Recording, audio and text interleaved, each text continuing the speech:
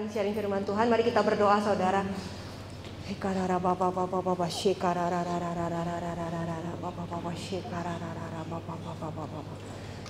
Tuhan terima kasih karena Engkau taat dan setia menyelesaikan semuanya Tuhan dan memilih untuk mati buat kami supaya Tuhan Kau boleh dibangkitkan untuk membenarkan kami Tuhan. Bapak terima kasih untuk cara yang kau kerjakan di tengah-tengah kami yang ajaib Tuhan. Bagaimana kau bangkit buat kami, kau merubah kehidupan kami Tuhan. Tuhan hari ini Tuhan kami mau sharing firman-Mu di tempat ini. Berkuasa atas firman-Mu Tuhan. Kerja di tengah-tengah kami. Terima kasih Bapak. Di dalam nama Tuhan Yesus biar kuasa kebangkitan Kristus tertanam dan bekerja di tengah-tengah umatmu ini. Di dalam nama Tuhan Yesus. Semua saudara percaya katakan? Amin. Amin. Oke, uh, saudara saya akan buka dengan Roma 4. Roma 4 ayat 25. Yaitu Yesus yang telah diserahkan karena pelanggaran kita Yesus harus menjadi solusi untuk setiap dosa kita. Amin saudara. Dan Yesus ini dibangkitkan karena apa saudara?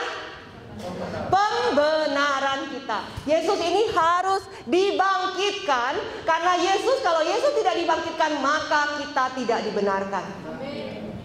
Amin saudara. Jadi kalau hari ini kita merayakan Paskah saudara, kita merayakan kebangkitan Yesus, kita merayakan bahwa Yesus bangkit untuk membenarkan kita. Amin saudara. Amin ya. Oke. Nah, saudara sering ingat terakhir saya di sini bicara, saya bicara mengenai complete grace. Ingat ya saudara ya. Tuhan memberikan kepada kita kasih karunia. Dia yang tidak mengenal dosa telah dibuatnya menjadi dosa dalam kita supaya di dalam dia kita dibenarkan oleh Allah dan kita diberikan kasih karunia. Amin saudara. Sebab karena kasih karunia kamu diselamatkan oleh iman. Itu bukan hasil pekerjaanmu tetapi pemberian Allah. Itu bukan hasil usahamu. Amin saudara ya. Dan kalau saudara ingat saya bicara di dalam kasih karunia ini kita belajar tiga hal. Ada tiga hal terdapat dalam kasih karunia. Ternyata di dalam kasih karunia ada keselamatan. Amin saudara, ya. Dan kita nanti akan dimuliakan saudara. Amin. Bersama Tuhan di surga. Dan saudara ternyata di dalam ini ada disiplin. Amin ya saudara ya. Oke, nah hari ini saya karena hari ini Tuhan memba, Tuhan dibangkitkan untuk membenarkan kita. Hari ini saya akan bicara ini lagi. Saya akan bicara apa yang Tuhan kasih buat kita sebagai orang benar. Ya, amin saudara ya. Saudara kadang-kadang saya tuh suka sedih gitu loh saudara. Kenapa? Kita ngerti kita orang benar. Kalau kita mengerti kita orang benar, maka kita mau kalau kita berdoa, saudara, kita tuh harus berdoa sebagai orang benar. Itu saudara, saya mendengar orang berdoa gini. Waktu orang doain orang sakit. Tuhan, aku minta tangan seorang sakit ini. Jadilah kehendakmu. Saya sedih, saudara. Itu ada ayatnya enggak? Ada, benar. Tapi saudara, gini, Coba buka ayatnya deh. Coba Matius Matius Matius 6 ayat 10. Matius 6 ayat 10. Lihat orang udah terbaring gitu saudara udah nggak bisa bangun gitu ya. Tuhan jadilah kehendakmu. Kehendakmu apa? Apa mau dia mati? meluncur gitu ke atas gitu saudara. Nah, saudara, orang tuh kadang-kadang nggak ngerti ya saudara ya. Orang berdoa jadilah kehendakmu. Saudara masalahnya ayatnya itu dia bacanya tuh nggak komplit. Ambil sepotong jadilah kehendakmu. Padahal Saudara lihat ya sama-sama ya. Jadilah kehendakmu di bumi seperti di sorga. Nah, saudara, kalau kita berdoa, kita mau berdoa sebagai orang benar, saudara. Jadilah kehendakmu di bumi seperti di sorga. Berarti kalau saya percaya bahwa di sorga, ada di sorga ada sakit penyakit, saudara? Gak ada. Berarti jadilah kehendak Tuhan di bumi seperti di sorga. Kalau di sorga tidak ada sakit penyakit, maka saya akan berdoa bahwa Tuhan di bumi, kalau di sorga tidak ada sakit penyakit, maka di bumi tidak boleh ada sakit penyakit. Amin. Amin. Amin saudara, kalau di sorga tidak ada kebangkrutan, maka di bumi tidak boleh ada kebangkrutan untuk anak Amin saudara. Doa yang benar, yang sesuai dengan kehendak Tuhan Yes. Amin. sebagai orang benar. Amin saudara. Amin. Ya, jadi kita berdoa apa yang Tuhan mau, hatinya Tuhan. Bahwa hatinya Tuhan begitu merindukan bumi ini dipenuhi dengan kemuliaan Tuhan sebagaimana seperti di sorga. Amin saudara. Amin. Ya. Terus sekarang saudara, saya dengar lagi orang doa saudara. Tuhan, biar Tuhan semakin besar, aku semakin kecil. Kedengarannya sih manis ya, sweet gitu ya, saudara ya. Saudara-saudara tahu siapa yang berdoa itu? Yohanes. Coba saudara kita lihat firmannya. Yohanes 3:30. Saya mau sharing sama saudara, kenapa? Kita tuh orang benar, kita harus mengerti untuk setiap hal apa pun yang kita lakukan, untuk setiap hal apa pun yang kita doakan, kita harus mengerti landasan firmannya dan kenapa kita lakukan itu. Ya. Amin saudara. Yohanes yang bilang, ia harus makin besar, tetapi aku harus makin kecil. Kenapa Yohanes bilang begini? Karena panggilannya Yohanes. Yohanes dipanggil sebagai nabi terakhir ya. Nabi yang akan meneruskan ya bangsa Israel untuk menyiapkan masyarakat untuk sampai kepada Yesus. Untuk mereka percaya kepada Yesus.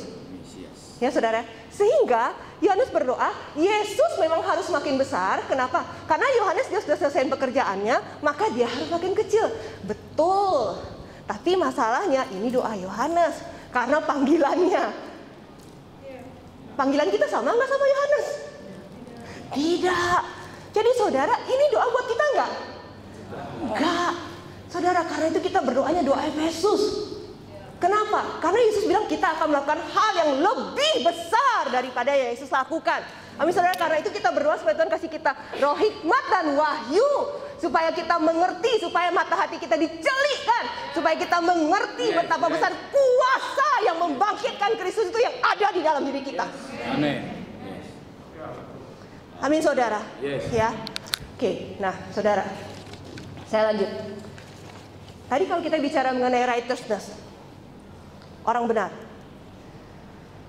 Apa yang dimaksud dengan righteousness? Right. Right. Righteousness adalah hak saudara. Wow, luar biasa ya. Hak untuk berdiri di hadapan Tuhan. Hak untuk berdiri di hadapan Tuhan based on berdasarkan apa yang Yesus sudah lakukan buat kita. Saudara, itu yang namanya righteousness, right. Ya, nah, saudara saya mau pinjem. Hmm. Sini siapa ya? Nah, oke, okay, di sini. Oke, eh, bawa kursi mas, bawa kursi mas. Insan pinjam san, pinjam san. Saya pinjam dua ya. Nah, di sini, di sini, sini, sini. San bawa kursi san. Eh, mundur dikit mer ya, mundur dikit. Ya, thank you mer. Oke, Insan sini san. Nah, thank you. Oke, oke. Oh ya, Vicky boleh, boleh, boleh. Oke, sekalian ya biar komplit ya. Tiga ada salin. Oke. Ah sini, nah, bentar ya. Iki sini dulu ya, Sik, ya. Sebentar, ya, sebentar, sebentar, Iki. Oke. Saudara. Ini tahta kerajaan Allah. Wow. wow. Oke. Nah, kan Pastor Insan paling tua ya. Oke. Jadi ini uh, Allah Bapa. Ya, oke. Kamu Yesus ya, berarti ya. Oke. ya, benar dong. Yesus duduk di sebelah kanan Allah. Ya, oke. Benar kan? Ya, betul. Oke ya, oke. Nah, sekarang tadi Ini orang benar. Oke ya. Oke, yang punya righteousness. Oke, nah sekarang coba bisi, sebentar lagi ya, sebentar lagi. Oke. Berarti orang benar ini kamu berdiri di hadapan Allah. Oke ya. Tadi righteousness adalah hak untuk berdiri di hadapan Allah. Hak untuk berdiri di hadapan Allah. Amin saudara. Ya, kamu berdiri dulu ya. Oke ya. Oke, saya bukain firman. Oke, saudara, saya bukain firman saudara 1 Yohanes 4 ayat 17. Dalam hal inilah kasih Allah sempurna di dalam diri kita, yaitu kalau kita mempunyai keberanian percaya pada hari penghakiman, karena sama seperti dia, kita juga ada di dalam dunia ini. Nah, saudara, saya mau ambil, kita ngerti ya, kasih Allah sempurna dalam diri kita. Amin, saudara. Ya, masalahnya ini, sama seperti dia, kita juga dalam dunia ini. Ini terjemahannya kurang pas. Because as he is, so are we in this world. As he is, so are we in this world. Sebagaimana Kristus, demikian juga saya di atas muka bumi ini. Saya ulang ya saudara ya. Sebagaimana Kristus, demikian juga saya di atas muka bumi ini. Setuju nggak saudara? Benar nggak? As he is, sebagaimana dia, demikian juga saya di atas muka bumi ini. Setuju ya? Amin. Oke, sekarang ini orang benar. Dia berdiri di hadapan Allah Bapa. Sebagaimana Kristus, demikian juga dia berdiri di hadapan Allah Bapa. Oke, sebagaimana Kristus. Saya mau tanya, di sini kita punya Kristus. Kristus ini layak nggak diberkati? Layak nggak diberkati? Layak. Kristus ini layak nggak mendapat kasih karunia Allah? Layak. Dia sudah menyelesaikan semua. Tetelestai, it is finished. Mereka saudara kan? Kristus ini layak nggak mendapat kemenangan? Layak, amin saudara? Amin. Sekarang, as he is, so are we. Kristus layak diberkati? Apakah dia layak diberkati? Amin. Kristus layak mendapat kasih karunia? Dia layak? Kristus layak mendapatkan kemenangan? Kita semua dan dia, kita layak nggak saudara mendapat kemenangan? Amin saudara. Amin. Tepuk tangan untuk Tuhan apa yang Tuhan berikan buat kita semua saudara. Amin saudara. As he is, so are we in this world. Amin saudara. Ini yang Tuhan kasih buat kita. Saya lanjut saudara ya. Oke, Vicky ambil kursi. Ya. Sekarang saudara, kita lihat ayatnya. Efesus 2 ayat 6. Ya, sebentar ya. Oke. Duduk, duduk, Ki. Duduk. Boleh duduk, boleh duduk. Boleh duduk. Oke, Efesus 2 ayat 6. Dan di dalam Kristus Yesus ya, Allah telah membangkitkan kita juga. Oke. Ini kalau saudara di bahasa Inggrisnya ini perfect saudara ya, perfect ya. Dan bukan cuma telah membangkitkan kita juga, tetapi telah memberikan tempat bersama-sama dengan Dia di sorga.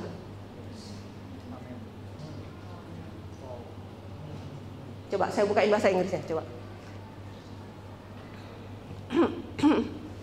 oh, ini kurang tep. Ya, oke okay, betul. Have raised us telah. Saudara lihat, telah. Telah. Oke, okay, Saudara. Berarti sudah enggak? Sudah. Berarti tempat kita di mana? Sudah dibangkitkan dan sudah membuat kita apa? Dan has made us sit together. Sudah mendudukkan kita di mana? Together in heavenly place. Jadi sekarang saudara, ini walaupun dia hidup di bumi, tubuhnya di bumi. Tetapi sebenarnya secara spirit, kau bangun Ki. Amin, amin. Saudara lihat. Karena apa? Firman Tuhan yang bilang, dia telah dibangkitkan bersama-sama dan dibuat duduk bersama siapa? Saudara lihat, ayat ini cocok nggak? Amin saudara. Tahukah saudara ini kondisi buat kita semua? Kita telah dibangkitkan bersama dengan Kristus dan telah diberi tempat bersama dengan Dia di surga. Walaupun kenyataannya kita hidup di bumi. Amin saudara. Sekarang kita sudah baca firman ya. Kita lihat. Waktu Raja Salomo waktu dia naik tahta. Semua raja-raja di sekitar dia takut nggak? Tunduk. Bener nggak? Kasih upeti. Benar kan saudara? Saudara baca ya. Kenapa? Karena waktu seorang raja berkuasa, maka musuh-musuhnya tunduk di bawah kakinya. Amin saudara. Amin saudara. Saya mau tanya. Buat kita hidup di bumi ini. Selain iblis, musuh-musuh kita apa?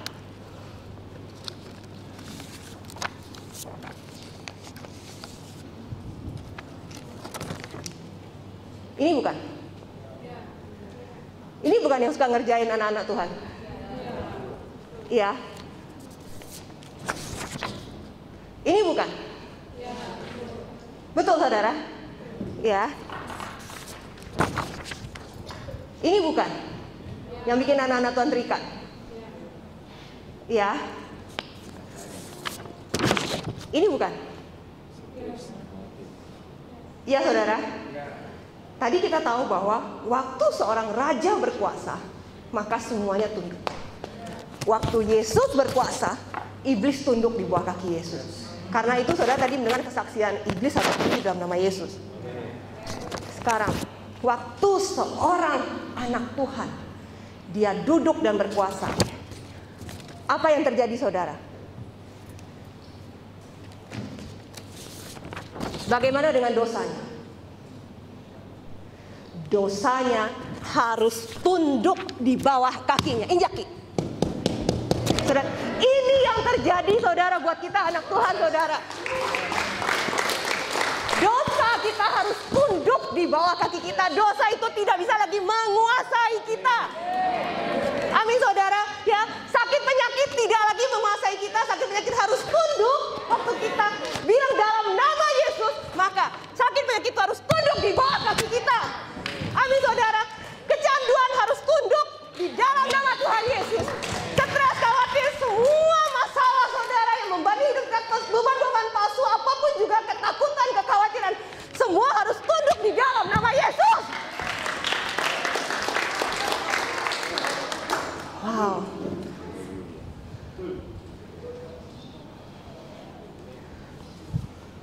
Ini yang Yesus lakukan buat kita karena dia dibangkitkan. Amin saudara. Saudara saya kepingin saudara confess bersama dengan saya. Tuhan, terima kasih. Karena aku, adalah orang benar. Aku sudah dibenarkan dan dibayar dengan darah Yesus. Sebagaimana Kristus. Demikian juga aku di dalam dunia ini. Kalau Kristus layak diberkati, maka aku layak diberkati. Kalau Kristus layak mendapat kasih karunia Tuhan, maka aku layak mendapat kasih karunia Tuhan. Kalau Kristus layak mendapat kemenangan, maka aku layak mendapat kemenangan. Dosa, sakit penyakit, ikatan apa pun, tunduk di bawah kakiku di dalam nama Tuhan Yesus. Amin, saudara.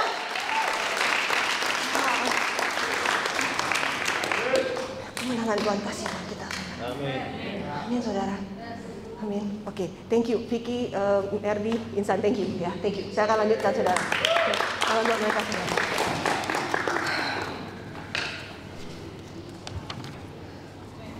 Amin saudara.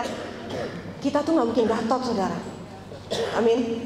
Saudara coba buka firman Tuhan saudara. 1 Petrus 1 ayat 23. 1 Petrus 1 ayat 23. Saudara saya ingin saudara baca sama-sama. 1 2 3.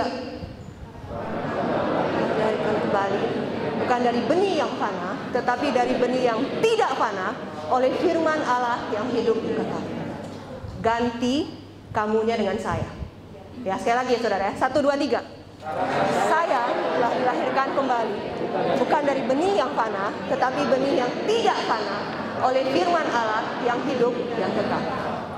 Saya sudah dilahirkan kembali dari benih yang tidak fana.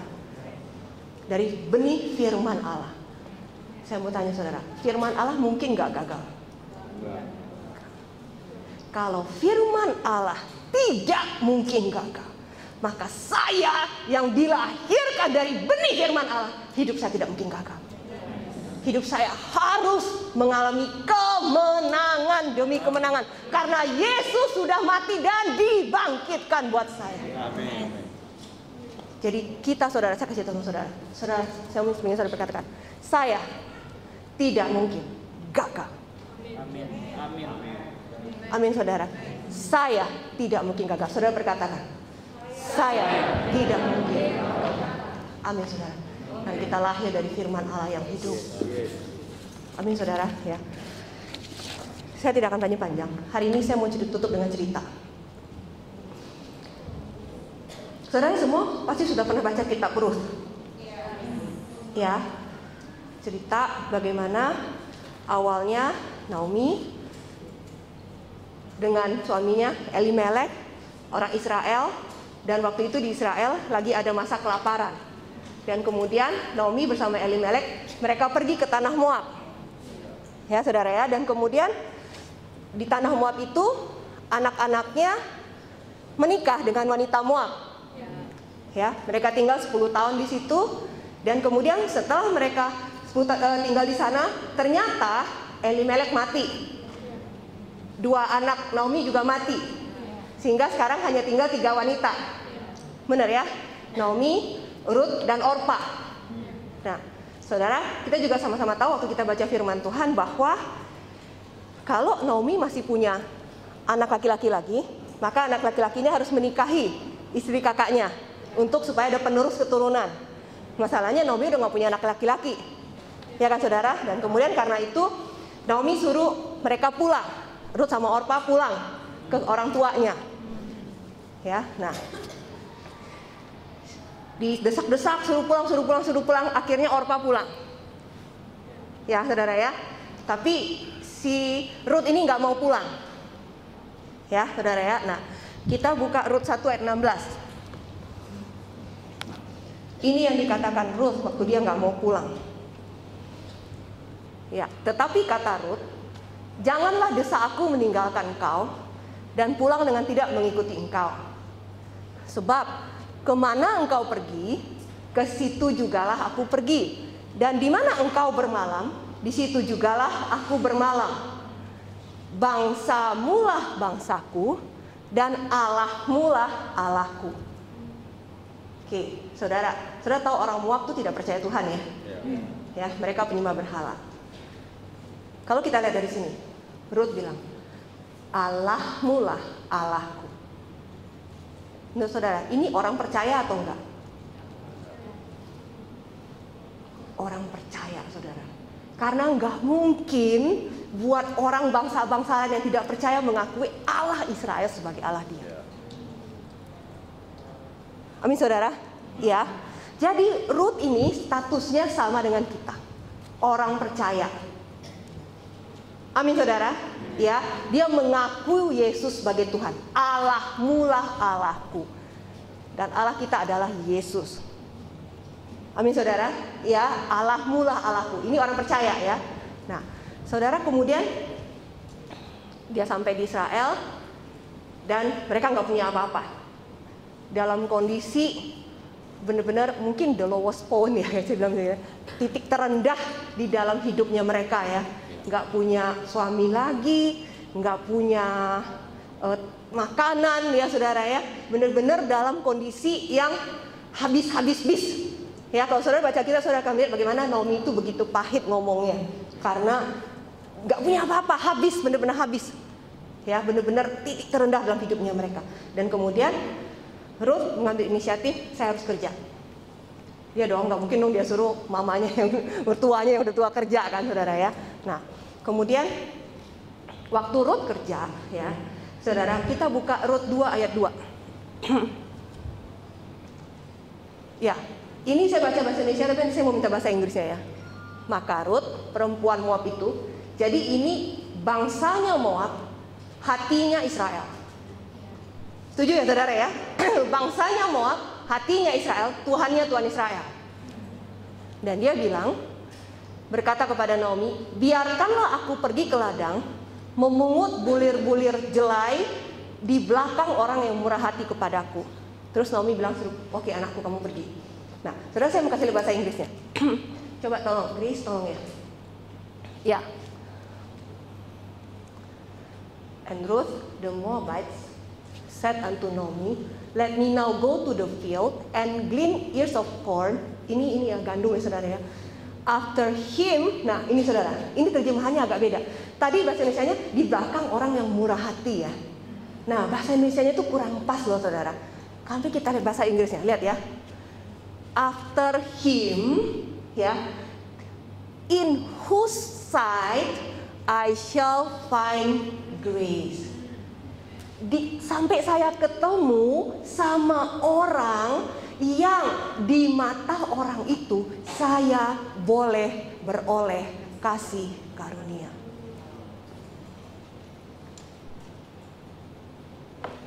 Lihat ya saudara, sampai saya ketemu sama orang yang di mata orang itu saya boleh memperoleh kasih karunia. Oke, kita lanjut saudara ya. Kita lanjut tadi. Jadi dia tadi bilang dia mau bekerja dan dia percaya bahwa waktu dia bekerja kasih karunia Tuhan akan turun kepada dia sehingga Tuhan akan menyertai dia dan membuat dia bertemu dengan orang yang memberikan dia juga kasih karunia. Amin saudara? Amin ya. Oke. Nah, sekarang saudara kita lihat tadi. Coba saya mau lihat Ruth 2 itu sebentar. Nah, saudara, kita lihat tadi dua itu, ini kan tadi ada dua ya. Oke, kita lihat dari yang satunya. Naomi itu punya sanak dari pihak suami yang kaya raya namanya Boaz. Oke, dan kemudian tadi ayat 2 itu lanjutannya, nggak apa-apa. Oh, ayat 2 lanjut, tolong Grace, ayat 2. Nah, habis itu ayat 2-nya bilang gini, Ruth pergi kepada mamanya, dia bilang, Mama, aku mau pergi pungut gandum supaya aku bisa ketemu orang yang bisa kasih aku kasih karunia. Benar ya saudara? Nah sekarang saya mau tanya maksud. Oke, okay, uh, sorry ayat ketiga. Ayat ketiga. Ketiga. Nah kemudian si Ruth itu pergi, ya. Lalu ia sampai di ladang dan memungut jelai di belakang penyabit-penyabit. Kebetulan, saudara ya. Saya kalau bisa ada spidol saya mau highlight ya. Kebetulan ia berada di tanah milik Boas. Oke, sekarang saya mau tanya sama saudara. Kita lihat tadi ayat satu. Coba ulang dari ayat satu ya. Ayat satu. ayat satu tadi dikasih tahu Nomi punya sanak saudara. Namanya Boas. Oke, ayat dua Sirut bilang, "Mama, permisi, aku mau pergi cari makan buat kita. Siapa tahu aku ketemu orang yang murah hati, aku mendapat kemurahan Tuhan." Ayat ketiga, kemudian dia udah pergi, dia sampai ke tanah buas. Saya mau tanya sama saudara. Kita baca nggak bahwa si Ruth itu googling di mana tempat buas? Dia tanya nggak sama tetangganya, yang mana sih yang buas? Yang mana sih yang kaya itu? Ada nggak saudara? Ada nggak dia mau cari bujangan kaya raya gitu? ada nggak ayatnya bilang saudara? Nggak ada kan? Atau dia gini, oh itu tanahnya, ya udah dia pasang Google Map terus dia jalan ke sana gitu saudara. Gak ada kan saudara? Gak ada kan? Yang terjadi adalah dia tadi dia orang percaya, ya dia percaya bahwa kasih karunia Tuhan sama dengan kita. Dia percaya bahwa kasih karunia Tuhan ada atas dia. Amin saudara. Dan kemudian sekarang dia mau bekerja. Ya. Dan kemudian saudara ini yang terjadi saudara. Dan ini kenapa saya mau sharing firman hari ini? Kenapa? Karena inilah cara kerja Tuhan untuk orang percaya yang mengerti namanya kasih karunia. Bisa nggak tahu gimana caranya, nggak nanya-nanya, nggak googling. Kebetulan ia berada di tempat Boas. Bahasa Inggrisnya pakai katanya have have saudara, maksudnya apa? Itu katanya kalau kita pakai happen ya, have. Have itu maksudnya apa? At the right time. At the right place. Gak tahu gimana Tuhan bikin pada waktu yang tepat, pada tempat yang tepat, Tuhan bikin berkat anugerah kemurahan itu turun atas orang ini. Ini yang terjadi sama Ruth dan saudara. Saudara enggak? Kebetulan. Saudara, ini yang kita terima. Waktu kita menerima kasih karunia Tuhan, saudara. Maka saudara, tuh dan kita percaya. Amin saudara, ya. As he is, so are we in this world. Saudara, sebagaimana Kristus, kalau Kristus patut mendapatkan kasih karunia, demikian juga saya. Amin Saudara. Dan saya percaya itu, maka Saudara, kebetulan itu itu adalah bagian dari setiap kita. Amin Saudara. Amin. Tuhan bisa bikin saudara kasih karunia Tuhan turun dan turun dan turun dan turun dalam setiap hari yang kita lalui.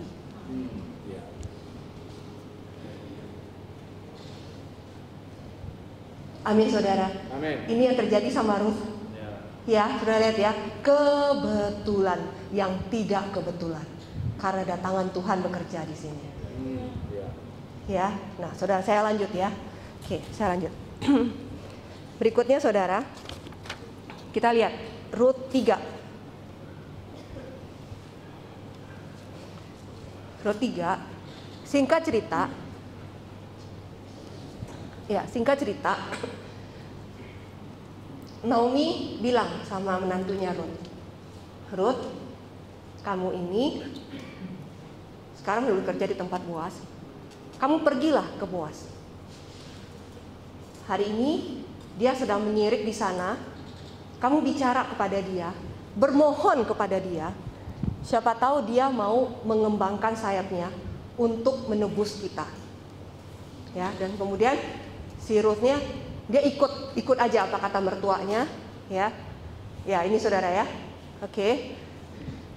Mencari penebusnya. Ya saudara ya. Dan kemudian si Ruth ikut kata mertuanya dan dia sampai ke pengirikan dan dia lakukan seperti kata mertuanya. Ya coba saudara saya terusin sampai kita lihat ayat ayat 7